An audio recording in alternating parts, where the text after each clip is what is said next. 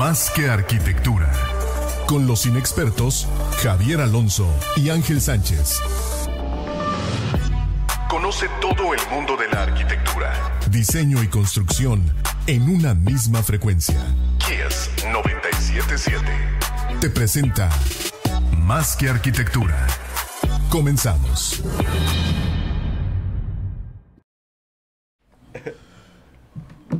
Es que como nosotros vamos por segundos. Claro, me imagino que. Hubo unos programas que se desajustó, pero no es tan fácil ¿no? Eh, ponerlo de vuelta. Entonces, con el celular es muy difícil. Primero se apaga la pantalla y luego no sabes si vas al inicio del minuto, al final. Y aquí debe ser exacto. Cronométrico. Sí. Ok, entonces tenga que callarme ponen la No, mano. no te preocupes, Daniela. No te preocupes. En la pijama, lo acaban de poner su pijama nueva, mi hijo. El, Oh, qué hermoso, qué hermoso. El Capitán América. Capitán América. Más que arquitectura. Con los inexpertos Javier Alonso y Ángel Sánchez. Conoce todo el mundo de la arquitectura, diseño y construcción en una misma frecuencia. Kies 977. Te presenta Más que arquitectura. Comenzamos. A las 4. Buenas noches, esto es Más y Arquitectura. Ya estamos al aire. Un servidor, el arquitecto Ángel Sánchez. Javier Alonso, ¿cómo estás, man? Buenas tardes, Ángel San. Gracias por sintonizarnos a todo el auditorio. Estamos en tu espacio intangible y nos puedes sintonizar en Facebook Live. Ya estamos en vivo. Y bueno, nos le, agradecemos este espacio a Grupo Cipse y aquí es FM 977 por este muy buen programa. Buenísimo. Y bien, eh, mencionaste, estamos en, en Facebook Live, man. Ya nos pueden sintonizar. Spotify. Y sí, Spotify también, así es. Ya estamos en todos lados, nos pueden escuchar. Y bien, hoy tenemos como invitada especial a la doctora en arquitectura Blanca Paredes, especialista en conservación del patrimonio edificado y docente de la Facultad de Arquitectura de la UADI. Bienvenida, Blanca, ¿cómo estás? muy bien, gracias por la doctor. invitación, jóvenes. Un gusto estar con ustedes. Igualmente. Muy gracias. contentos de tenerte aquí con nosotros. Eh, estábamos platicando antes de iniciar el programa. ¿Qué nos trae eh, el día de hoy? Bueno, es el tema de las haciendas de Yucatán. Lo, estamos publicando en redes sociales. Pero también muy importante, antes de que nos metamos a todo esto y ver qué tipos de haciendas, la arquitectura, eh, la historia y, y el tema social, ver por qué es importante, Blanca, entender el pasado y todas estas conexiones junto con nuestro presente y cómo vivimos hoy en día. Creo que cualquier grupo que se pueda decir como grupo cultural en el mundo y en este caso nosotros los yucatecos como grupo cultural estamos formados de lo que hemos sido y hemos sido de cosas muy diversas con diferentes niveles de importancia en nuestra historia. Yo creo que el capítulo de las haciendas es de esos aspectos que representaron hitos importantes en nuestra historia y en la arquitectura, en la historia de la arquitectura que nos importa conocer hoy. Entonces no podríamos entender el hoy ni de la cultura ni de la arquitectura sin este momento histórico de las haciendas en Yucatán, que además fue muy largo, fue de siglos.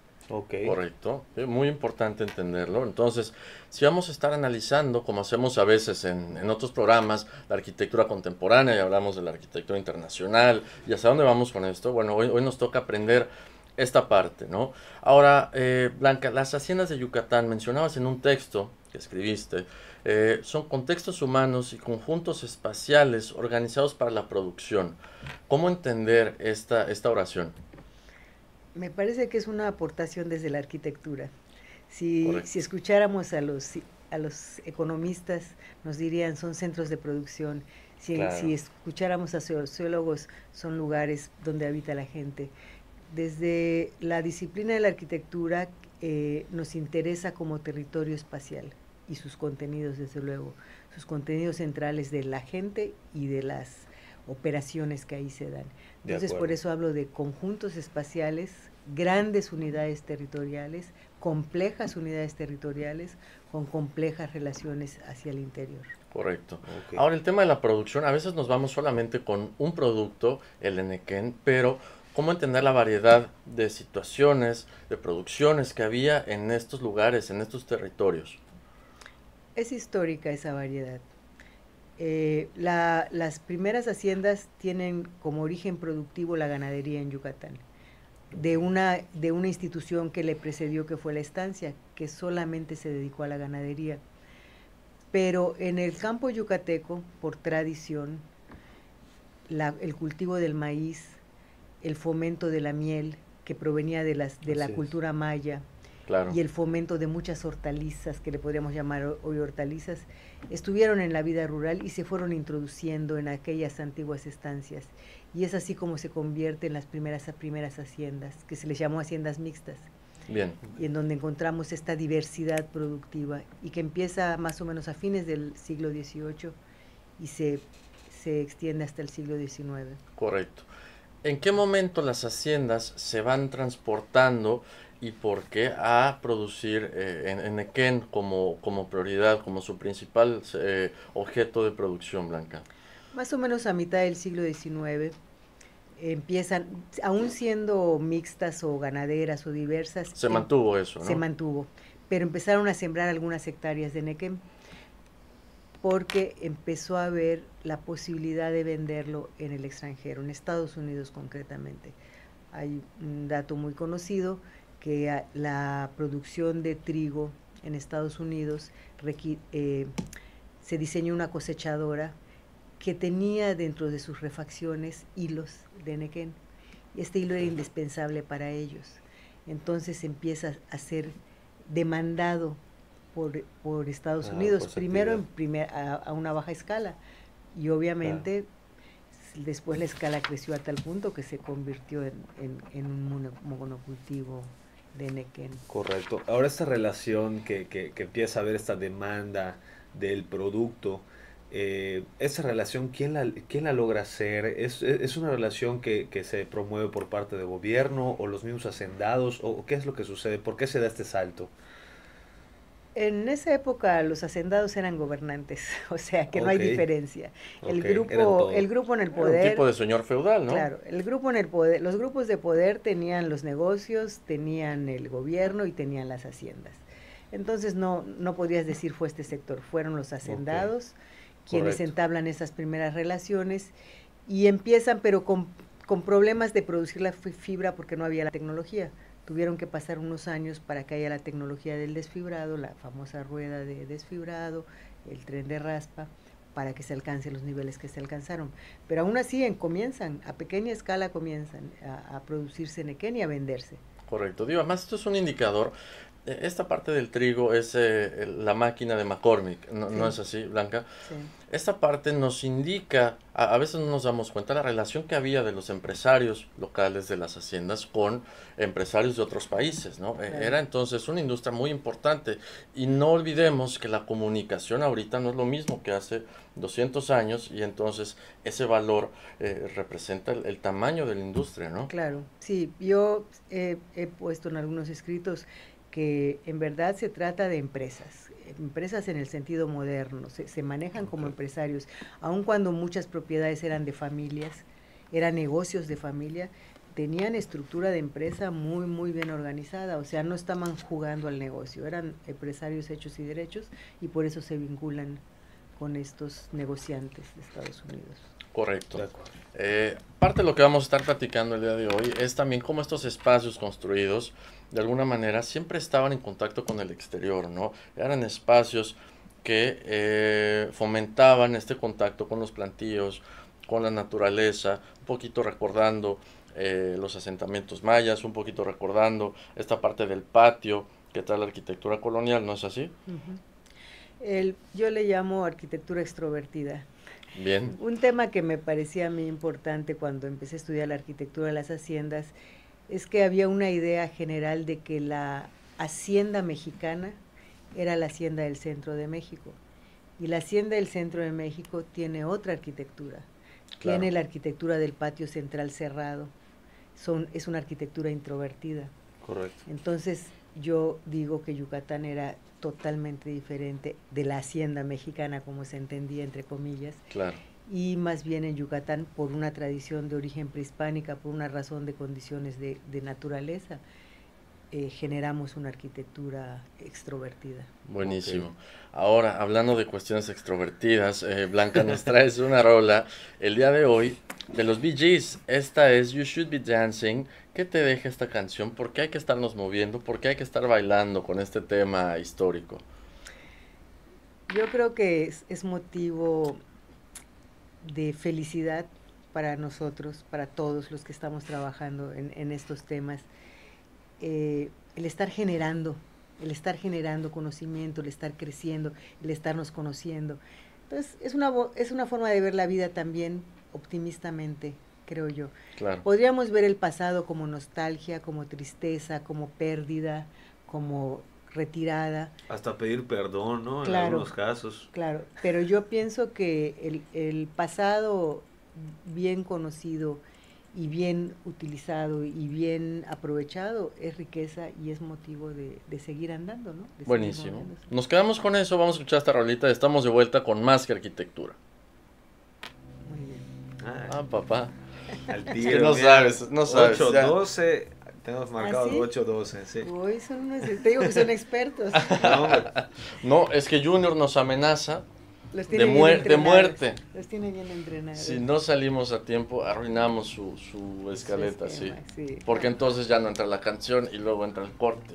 Y, tiene que cortarla. Exacto, exacto. Bueno, ¿Cómo, ¿cómo está eso que AMLO pide que nos, que, que, que, nos pidan disculpas? ¿Cómo lo vio usted? Bueno, hay una polémica. Hay, Pedro Bracamonte le hizo un, hizo un escrito sobre eso en, en la jornada. Bueno, ¿ah? O sea, yo pienso que es que no está pidiendo que nos pidan disculpa, porque obviamente no, va por ahí, ¿no? No es por ahí, pero hay actos simbólicos. Y, y, y, se han hecho, se han hecho en momentos. Parece rechinador. O sea, no es que este, este, este rey. Lo necesitemos. Claro, y no es que este rey tenga la culpa, ni la gente que vive hoy en España tenga la culpa, ni mucho menos. Pero son llamados a la memoria, ¿sabes? Llamados a la memoria como que dijeran ahorita el, holocausto nazi, ¿no? Bueno, eh, que se haga un planteamiento desde Alemania sobre eso, que se dijera, ¿no? Claro. No estaría mal. No es porque creamos que el, grupo de gobernantes alemanes en este momento este, estén de ese lado. Al contrario, al contrario, son gente bien opuesta. Así es. Pero son, son actos simbólicos y llamados a la memoria de que hay cosas que no pueden volver a pasar. Y, y realmente eh, a mí me gustó mucho este escrito de Pedro Bacamonte, habla del holocausto que se genera con la cuando llegan y, la gente muere, nosotros no tenemos una idea de la cantidad de gente que muere por actos de la mayor violencia y hay una hay una gran pérdida de, mucho de la cultura. Entonces, sí, yo creo que no es una estaría absurdo que le digan a alguien, "Oye, pídeme perdón después de si es una cosa tonta plantearlo así."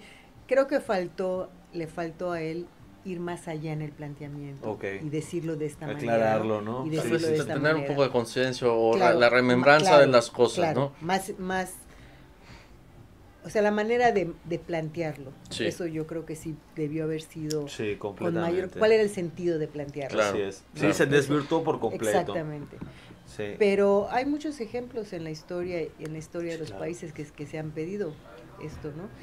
El mismo ahorita el mismo Papa ha pedido perdón por crímenes de la iglesia, cuando obviamente este Papa es maravilloso, creo yo, este es magnífico, pero no es su culpa, pero sí está en una institución que ha cometido errores y que es un acto simbólico que lo haga. ¿no? Entonces yo que en ese sentido, pero faltó que, que, se planteara de otra manera y no decir, a ver, pídeme perdón, porque... Pues sí. ¿no? Entonces, vamos a Por procesos normales de la humanidad además, ¿no? Claro. Siempre ha pasado eso en la humanidad y, seguirá pasando. Claro. Y sigue pasando. Y sigue pasando, así es. Es Haití, Israel, Venezuela. En algún momento pedirán también que el, así el perdón te digo que hizo un muy buen artículo Pedro Bracamonte en la jornada de conmocional y yo lo leí porque eres un experto en historia de la época. Y dije, pues voy a ver. Y él hace un poco esta, esta reflexión. Ok. ¿no? Es un tipo que vale la pena también. Es, es un buen intelectual. Correcto. Ahora, de regreso al aire, ¿te parece, Blanca? Nos vamos. Bueno, ya tocamos un poco el tema de haciendas, estancias ganaderas, la producción, el Enequén. No sé si vale la pena terminar de definir los productos que se producían en las haciendas, ¿no? Desde el azúcar, eh, como decía Javier, no sé si en algún momento hubo algo de cacao que tuvo que ver en la producción, que mucha gente cree que no y lo niegan y luego precisamente tú eres una de las personas que menciona que sí, eh, en tener todos estos productos que algunos pues, tienen procedencia prehispánica, ¿no? Así es. Eh, bueno, incluso el Enequén. Y después ya nos vamos a las situaciones sociales y culturales que van impulsando y se van metiendo entre todo esto, porque es muy interesante cómo llega un gobernante, cómo se van haciendo los, los inventos que van eh, evolucionando, procediendo estas técnicas, ¿no? Y, eh, y cómo la gente se va agrupando alrededor de todos estos núcleos de crecimiento. Se vuelven las haciendas en los asentamientos más importantes incluso que los pueblos. Después de las ciudades, que nada más había tres, las haciendas concentraron mayor población que incluso los pueblos. Entonces eso es importante, la población ¿Pero por extensión o por la cantidad? Por la cantidad de gente que, que, habitaba. Es que es cantidad de gente, cantidad de dinero, producción, bienes, esto es todo, ¿no? La mayor parte de la población, digamos, o gran parte de la población estaba. Sí. Es el periodo más exitoso económico de Yucatán en toda su historia, en toda su historia difícilmente vuelva a ser no vuelva, a tener ese 15 familias es que creo que es mucho no hay quien habla de 30 en fin. Lo que pasa es que también hay que fueran 100 de, todos modos no claro. Eh, les tocaba una buena parte cada uno. Sí sí. Bueno por eso hicieron tantas obras no en la ciudad misma de Mérida. Así es.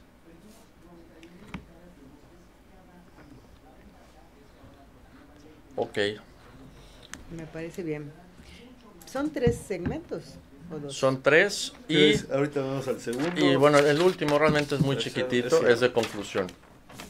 Son tres segmentos. Eh, en el tercero ya nos metemos un poquito más a métodos constructivos, estructura de la ciencia, relación con el tejido social inmediato. Bueno, tal vez si no lo tocamos aquí, si no lo saltamos. Acciones de rescate y empezar a ver esta visión de las haciendas hoy en día. No, no entenderlo solamente como el restaurante bonito, el hotel que unos pagan y otros no, sino también que, interviene desde el punto de vista arquitectónico, ¿no? Cómo abordarlo, la gente y también como, como turista, ¿no? Claro. Muy bien. Es toda una vuelta. Exacto. ¿Cuántas haciendas se supone que, que tenemos por aquí? ¿Sabe? Nosotros hicimos un inventario en los años 90. Haciendas, con el concepto de haciendas, habían como 320, pero sumándole esos sitios y esas anexas que mucha gente cree que son haciendas, eran casi 800 en total. Ok. Entonces, claro que estén... O sea, estamos hablando que si eran 30, vamos a suponer que eran 30 o 50 familias, y hay un levantamiento de 300, pues le tocaban.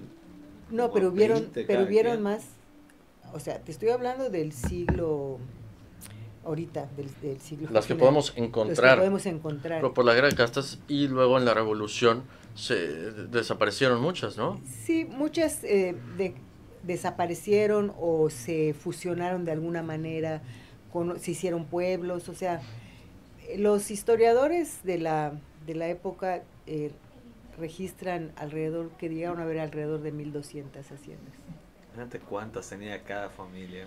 Habían de muchas escalas. Se está dividiendo. Claro. Entre 12, 24. ¿Cómo cuánto se vendía el kilo? No, había familias que tenían muchas y habían algunos hacendados. Que 30 segundos y entramos. Okay. Okay. Había diferentes tipos de hacendados. Entras, man, eh, con ángulo. Ah. ¿Qué buscas? Ah, ya, ya, ya, lo tengo. ¿Quién, quién está ahí? Connectation. Take it easy, man. no, pues, no tiene internet. Ahorita te presto, ahorita te presto mi wifi, no te preocupes. No, si tengo, si tengo. Vio su celular, take it easy, take it easy.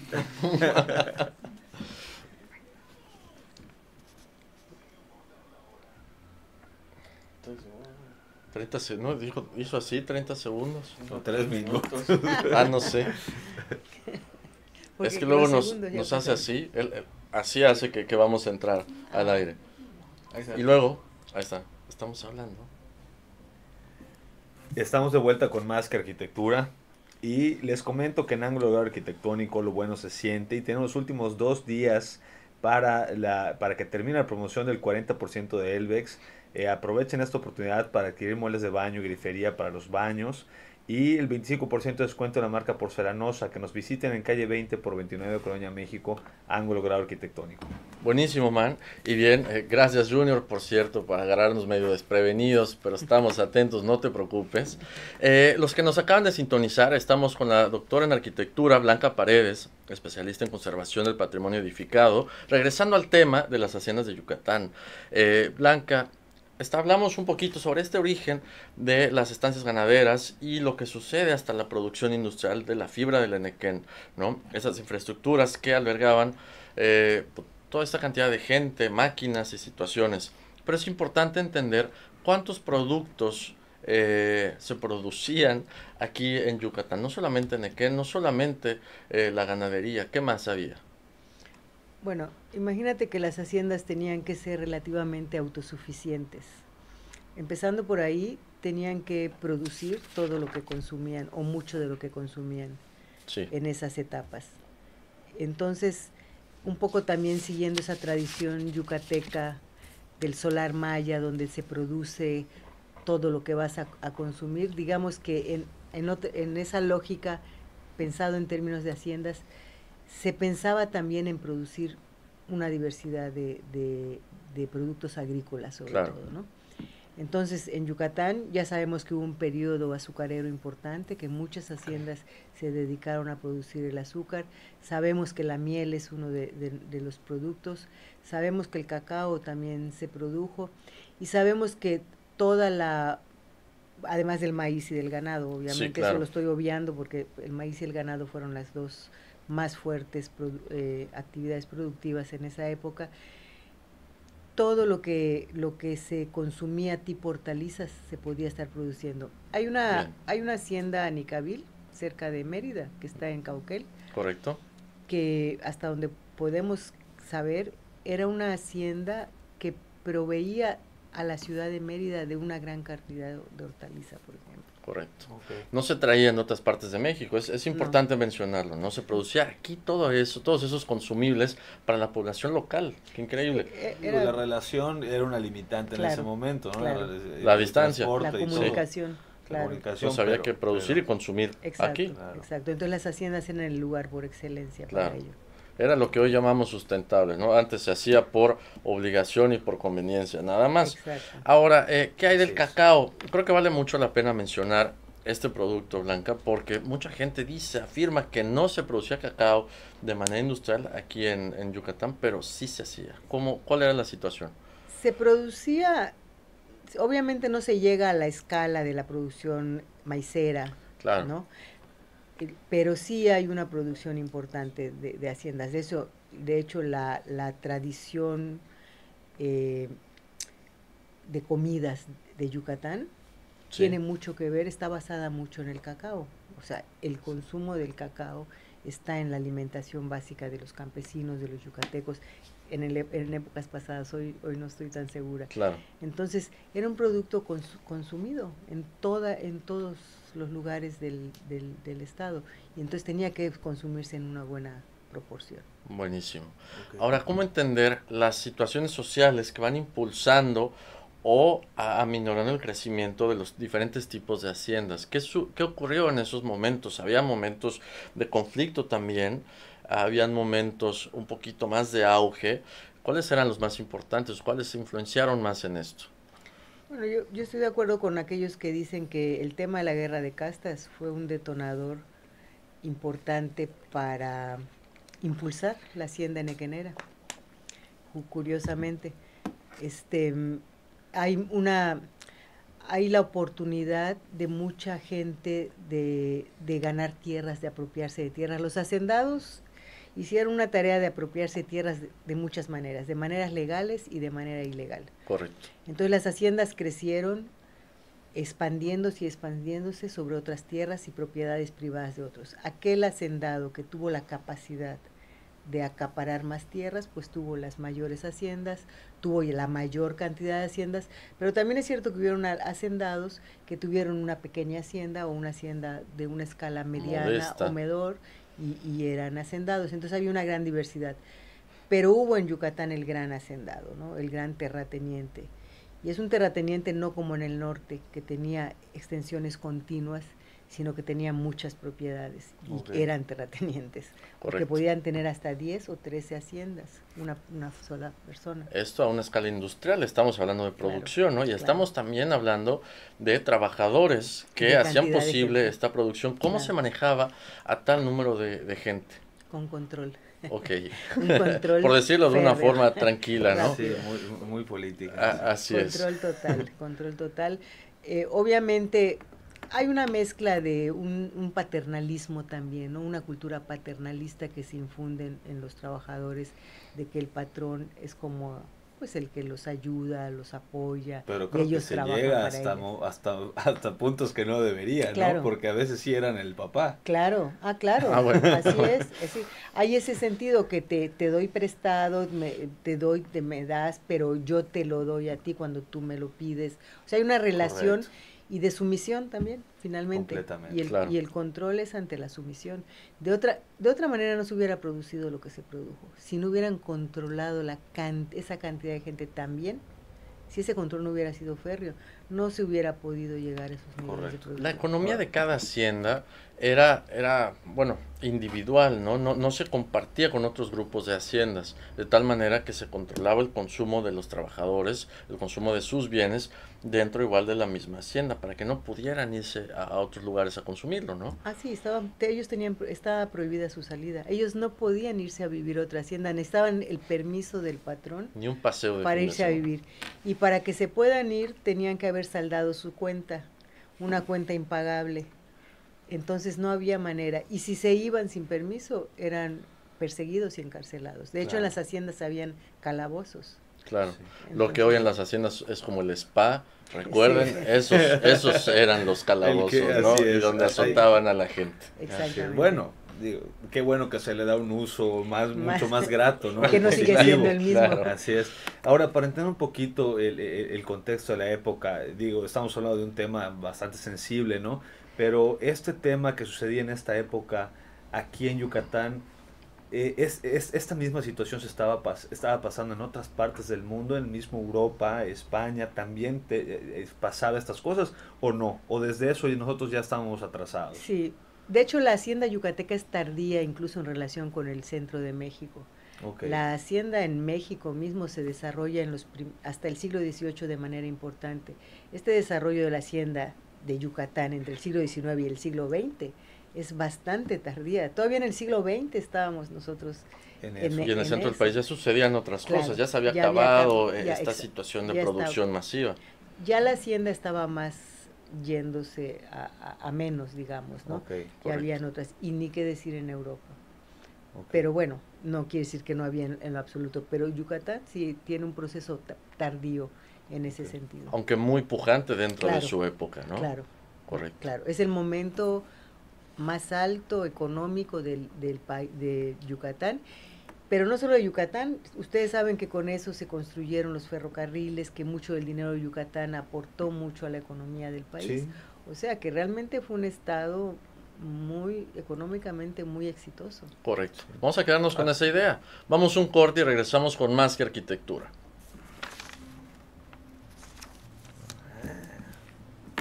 Podríamos no detenernos, ¿verdad? Así que me... No, no, no te preocupes, no. Así cortamos. Soy al tiro. Vea, Junior. Ah, no escucha.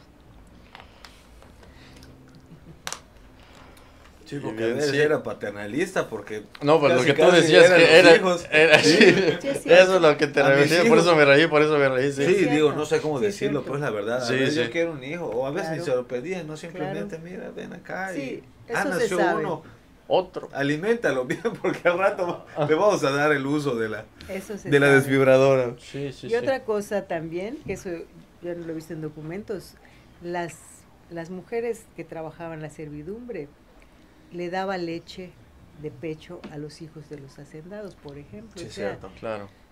O sea, las, las, contrataban y las usaban en, plenamente como personas, ¿no? En, en, la hacienda donde, donde nació mi abuelita, eh, allá en la, en Chichihuas.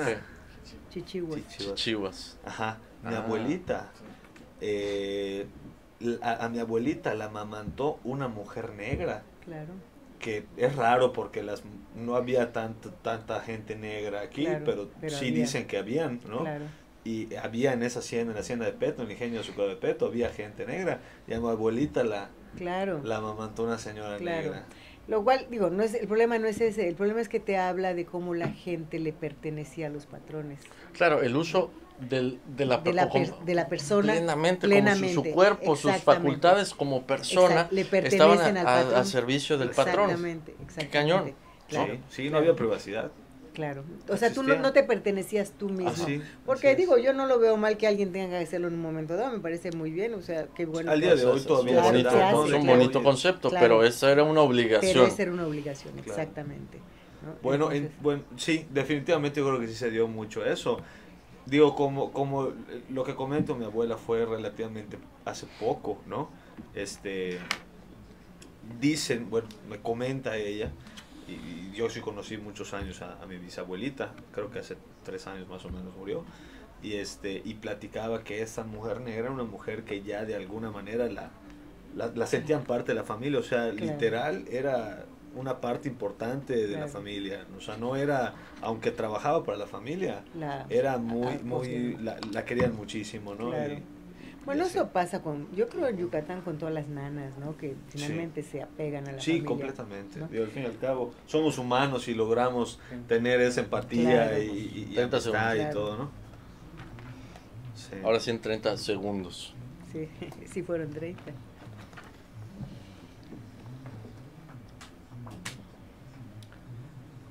Ok. Toma, toma esa historia, todo, todo rollo.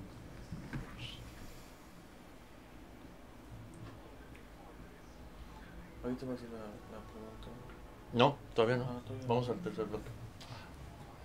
Vamos, arquitectura de las haciendas, estilos y todo este rollo. Entra, hermano. Jefe Sevilla. Y esa mujer. Ya estamos de vuelta en Más que Arquitectura y les aprovecho mencionar que Jefe Sevilla es la empresa líder en el ramo de la infraestructura para la construcción, como andamiaje, drenaje pluvial y alcantarillado.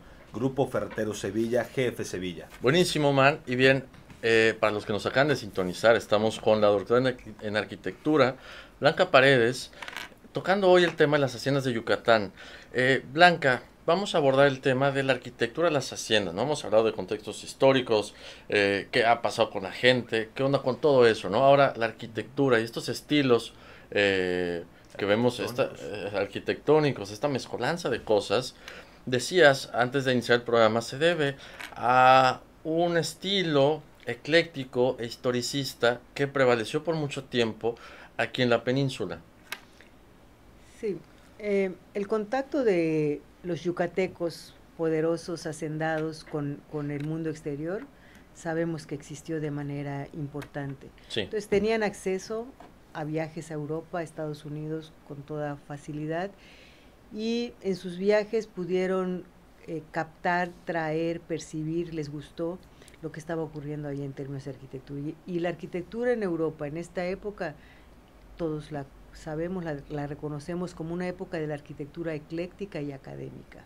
¿Qué significa esto?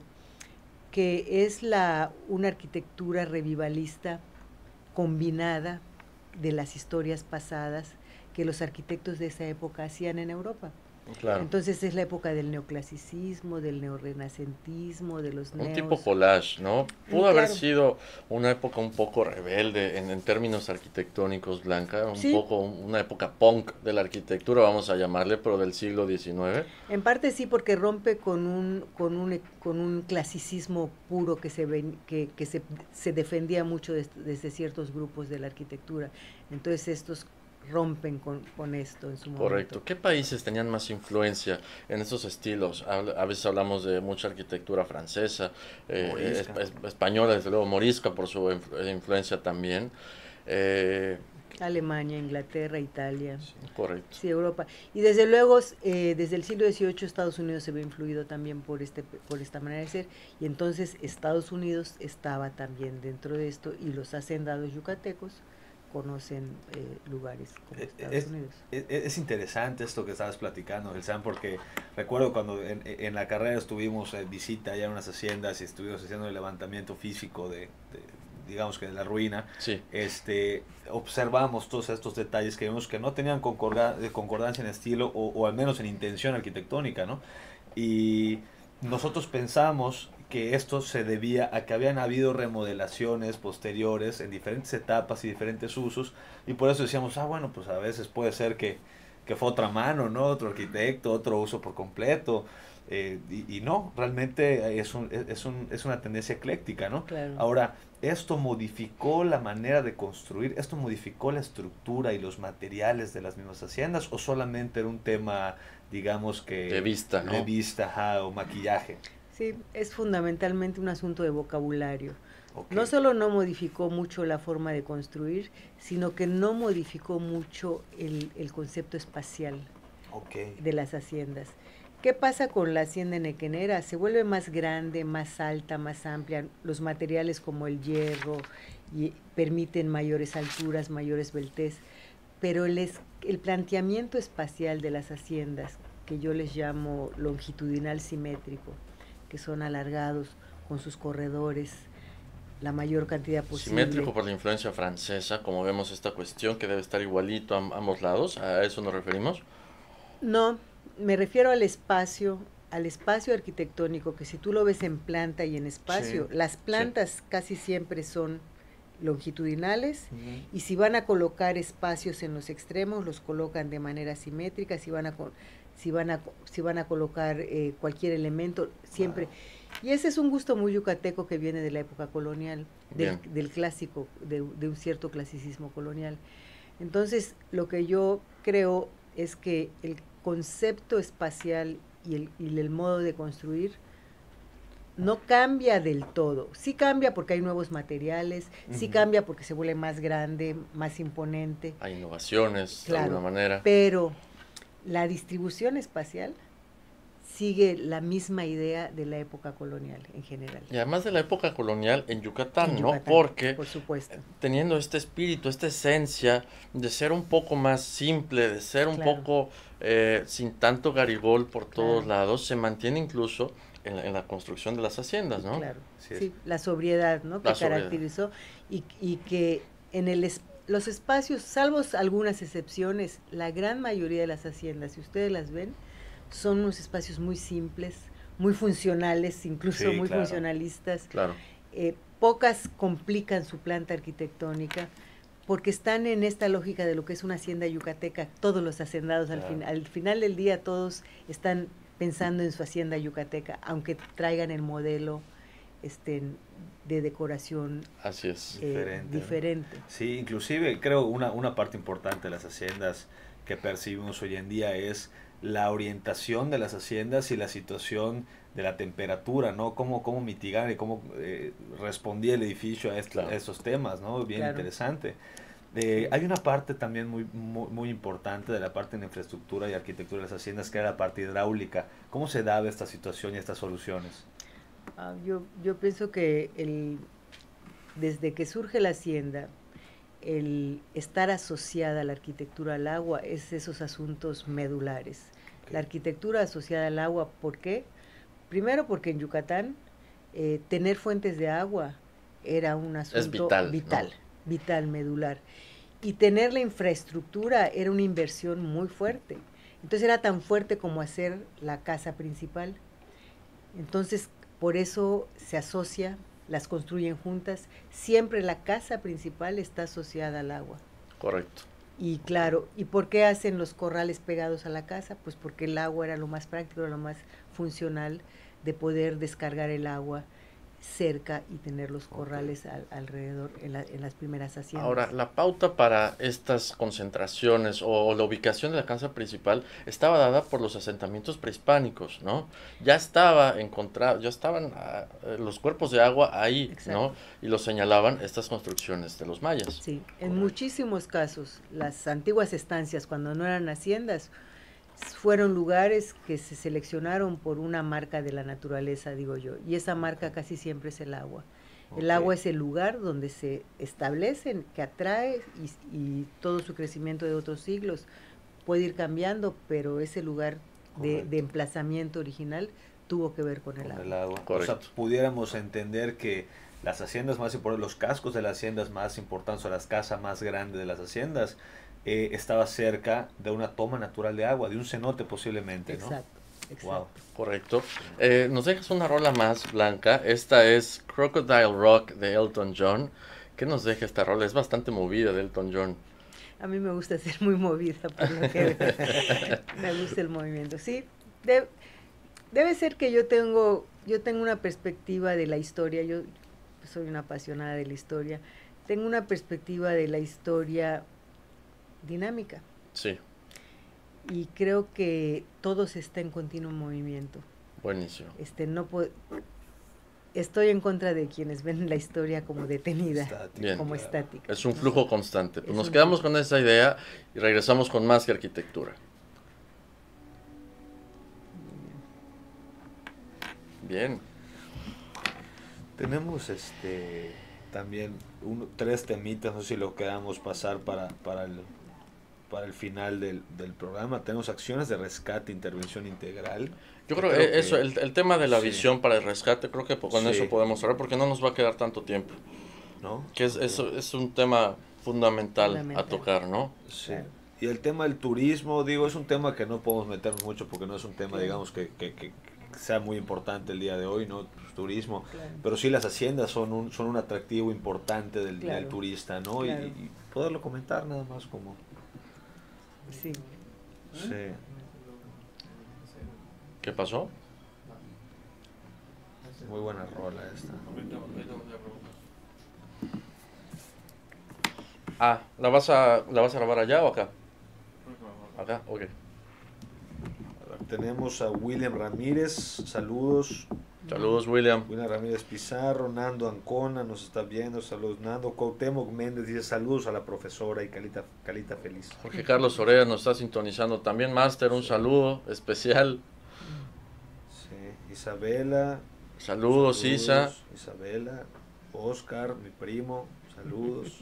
Toda la familia está sintonizando estás en el radio, man. Ese es mi esposo. Ah, sí. Ese. Campeón. sí. Bien. Es un tema inagotable este. Sí, a, mí me fascina. Lo que pasa es que tiene muchos diferentes ángulos. Claro. Del cual acercarte, ¿no? Están los buenos, están los malos de la parte de la gente, está la parte de la ingeniería, está la parte de la arquitectura, está la parte de la economía, eh, la política, ¿no? Claro. Y luego la, una parte muy importante, digo, el origen es importante y también la decadencia de esa, de esa etapa es muy importante porque crea luego un, digamos que una colita social que al día de hoy se viene arrastrando, ¿no? En temas de gobierno federal, eh, las intenciones de separación, todo esto que viene en, la decadencia de esta época, ¿no? Sí, es toda una historia que hay que también recorrer. Sí, Sergio Bonifant, saludos Sergio, Saludos Sergio. Este, sí, sí, sí. Igual digo, si tenemos un poquito de tema, podemos hablar un poquito de qué, es lo que pasa, ¿no? ¿Qué es lo que... ¿Qué es lo que sucede? que es un montón de, de, de tema, como dices, este es, es, es, amplísimo. ¿Y sabes cómo se llamó la hacienda de tu familia? No, no, la verdad no. Sé que había una que se llamaba Cosgaya, que, que, seguramente tuvo algo que ver, pero no, no, la verdad es que no me no he preguntado sobre ese, sobre ese tema ni. Y lo que hubieron también fueron, fueron esclavos traídos de Cuba. Por eso a ser la gente, la gente de color. Eh, obviamente coreanos, chinos llegaron a trabajar, o sea, es otro tema. Bueno, eh, eh, hasta el otro día platicando, eh, igual, que, que era este castillos con arquitectura inglesa, ¿no? Creo que hay un castillito por aquí, en el uno o dos castillitos aquí en, en, la península. Chenché de las Torres. Sí. Y, y Millet. ¿De dónde sale ese estilo medieval? O sea, traen, esos son proyectos que ven en Europa y los traen. Sí. O los veían en tarjetas y, y los traen, tal cual. eso sí, porque esos incluso la planta es, es, es bastante diferente. Ellos no solo es la fachada y la decoración es todo el proyecto. Es todo el proyecto. es lo que pasa, lo que pasa hoy en lo que pasa hoy en día, ¿no? O sea, se trae proyecto de, de, Pinterest, la gente ve proyectos de Pinterest y así lo quiere. Lo mismo, nada más que cuando iban de viaje y los traían. Claro. Pero se hizo mucho en Yucatán, no solo hasta en Mérida, la ciudad de Mérida sucedió. ¿Y qué tal eso que sí llegó gente inglesa y que sí querían armar un grupo de, de trabajadores o de obreros o de esclavos? Para liberarse de su esclavitud y, fragmentar un poquito el tema de... Fragmentar la este, colonia española. La colonia española para poder agarrar parte de la tierra. ¿Eso realmente tiene... ¿Existió? Yo, no, yo creo que no tan así. Creo que lo más importante, o sea, no, no tenían mucha fuerza. El, la, la inserción más importante de los ingleses, pues son toda esa esa cantidad de piratas que llegan más bien por Campeche, ¿no? Pero como que muy organizados, yo, yo creo, creo que no, no lo sé, creo que no. Sí, sí. Digo, en algún, en algún lugar, no sé si me lo platicaron o lo leí, que, que hasta habían ahí medio fotos ahí de, de gente de la, de la realeza que visitó en algún momento, bueno, no, no precisamente la realeza, sino ya otros mandos, ¿no? Pero gente importante que visitó con algunas este, pues, filas aquí de gente armada de la región. Digo, fotos y la, jugada. Pues es que el, movimiento antes era, era con con parte ejército, era parte militar, ¿no? A donde ibas y más en, territorios coloniales, era así la jugada, no ibas a la ciudad, no ibas a, al, al, mundo moderno, civilizado, aquí pues, y la manera, y la manera los salvajes. negociar sobre todo, ¿no? O sea, viene un inglés y se, y se enfrenta con que la colonia española controla la economía, ¿no? De, de, de, de un lugar, pues no van a venir a negociar buena onda. Debe haberlo intentado en alguna parte de América, no sé si en México, en qué parte de México, pero pues Belice es un ejemplo, ¿no? Claro. O sea, sin duda los ingleses estuvieron batallando y batallando. 30 segundos. Para eso. Para, entrar acá, ¿no? Pero lo hicieron más bien por... Entras, man. Nos quedan... ¿Cómo? Entro... Ah, o entro, más bien. Entras, entras, porque... Sí, ya nos viste que borré el otro, borré el otro, sí. No, pero el de jaque no, no, Ah, no nos han dicho qué situación. Al final un saludo especial y listo, ¿no? Sí, por el momento. Ok. A comentar que está con nosotros ya. Y el... ¿Qué quedamos? ¿Qué quedamos? Acciones de rescate, intervención integral. Acciones de approach.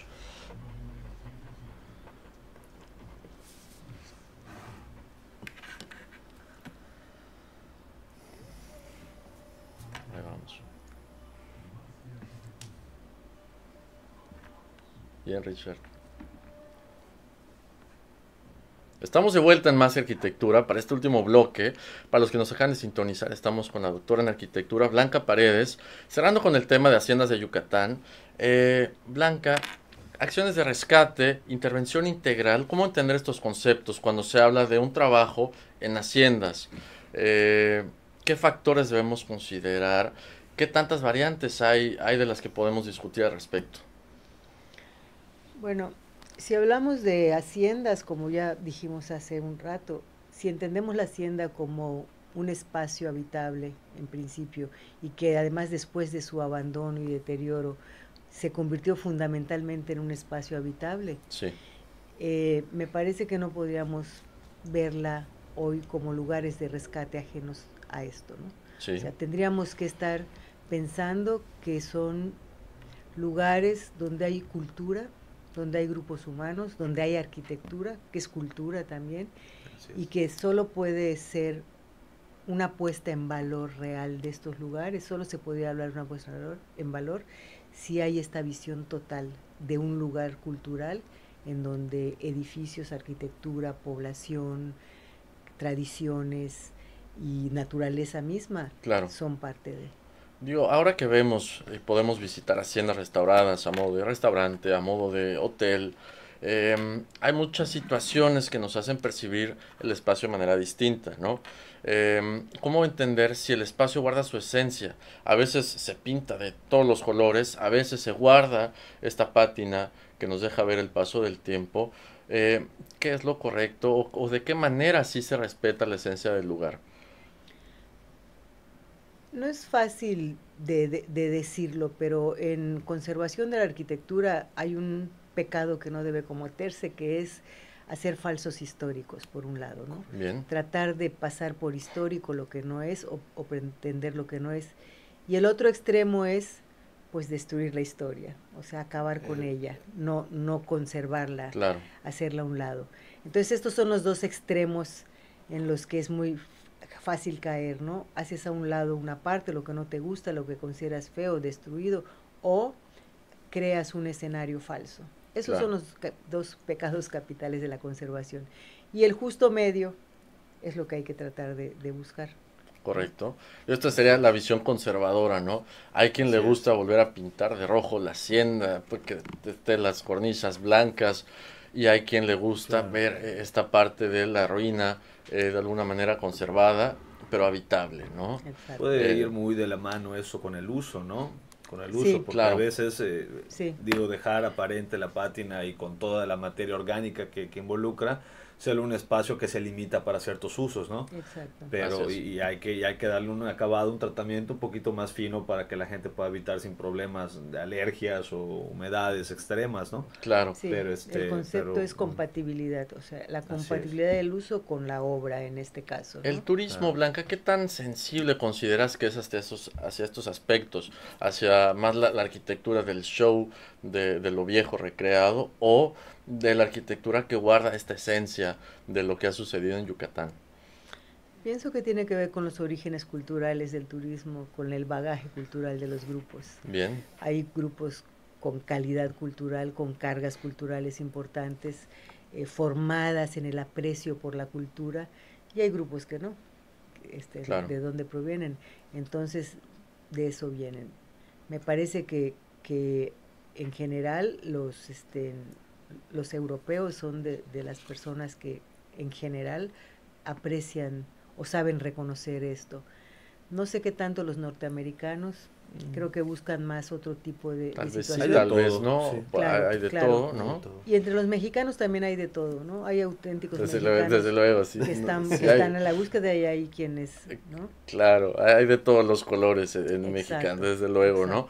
Ahora, eh, una pregunta que nos gusta hacer mucho en, el programa Blanca, y es que se nos va acabando el tiempo, es desde todo esto que hemos platicado hoy, esta parte histórica de las haciendas y estos momentos sociales, eh, ¿hacia dónde va Yucatán? Yo esperaría que Yucatán, en su propuesta de desarrollo y crecimiento, esté contemplando auténticamente el concepto de cultura.